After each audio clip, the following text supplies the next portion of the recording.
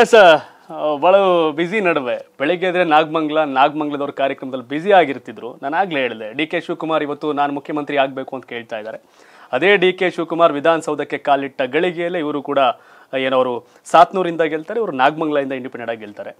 ಅಲ್ಲಿ ವಿರೋಧಿಗಳ ಸಂಖ್ಯೆ ಕಡಿಮೆ ಇರುತ್ತೆ. ಇಲ್ಲಿ ಬಹಳಷ್ಟು ಸ್ಟ್ರಾಂಗ್ ಆಗಿರ್ತಕ್ಕಂಥ ಪ್ರಬಲ ವಿರೋಧಿಗಳ ವಿರುದ್ಧ ಭಾರೀ ಬಹುಮತ ಪಡೆದು ಗೆದ್ದು ವಿಧಾನಸೌಧದ ಮೆಟ್ಲೆತ್ತಾರೆ ಬಟ್ ಅವರು ಸಿ ಎಂ ಕ್ಯಾಂಡಿಡೇಟ್ ಇವರು ಕ್ಷೇತ್ರದಲ್ಲಿ ನಾನೊಬ್ಬ ಮತ್ತೆ ಎಂ ಎಲ್ ಎ ಆಗಿ ನಾಗಮಂಗಲ ಜನ ಋಣ ತೀರಿಸಬೇಕು ಅನ್ನೋ ಮಾತನಾಡ ಮಂತ್ರಿ ಆಗ್ಬೇಕು ಅಂತ ಆಸೆ ಇದೆ. ಮಂತ್ರಿ ಯಾ ಒಂದು ಅವಕಾಶ ಈಗ ಇಂಡಿಪೆಂಡೆಂಟ್ ಆಗಿ ಬೇರೆ ಹೋಗ್ತಿದ್ದೀರಿ. ಏನು ಮುಂದಿನ ವಿಧಾನಸಭಾ ಈಗ ನಾನು ಕೇಳ್ಕೊಂಡಿದ್ದೀನಿ ದೇವ್ರದ್ದು ಬಹಳ ಜ್ಯೋತಿಷ್ಯನು ಕೇಳ್ತೀನಿ. ನಾನು ದೇವೇಗೌಡರ ಸಂಪರ್ಕದಲ್ಲಿ ಇದ್ಮೇಲೆ ಇಡೀ ರಾಜ್ಯದಲ್ಲಿರ್ತಕ್ಕಂಥ ಎಲ್ಲ ಜ್ಯೋತಿಷಗಾರರ ಪರಿಚಯ ಇದೆ. Okay okay. ಬಹಳಷ್ಟು ಜನ ಜ್ಯೋತಿಷಗಾರರಿಗೆ ಕೇಳಿದ್ದೀನಿ.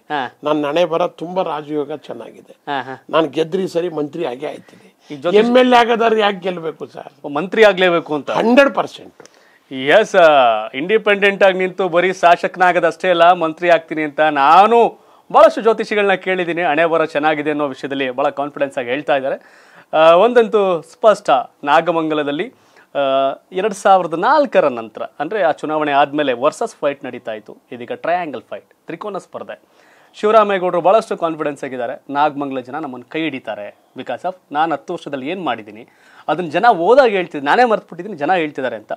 ಬಟ್ ಜನ ಒಂದು ವಿಷಯ ಮಂಡ್ಯದ ರಾಜಕಾರಣದ ವಿಚಾರ ಹೇಗೆ ಅಂದರೆ, ಅಂಬರೀಷ್ ಅವ್ರನ್ನ ರಾಮನಗರದ ಜನ ಸೋಲಿಸಿದಾಗ ಲೋಕಸಭೆಯಲ್ಲಿ ಗೆಲ್ಲಿಸಿ ಉತ್ತರ ಕೊಟ್ಟರು ಅದೇ ಅಂಬರೀಷ್ ಅವ್ರನ್ನ ಎರಡು ಸಾವಿರದ ಎಂಟರಲ್ಲಿ ಶ್ರೀರಂಗಪಟ್ಟಣ ಜನ ಎಂ ಎಲ್ ಎ ಸೋಲಿಸ್ತಾರೆ.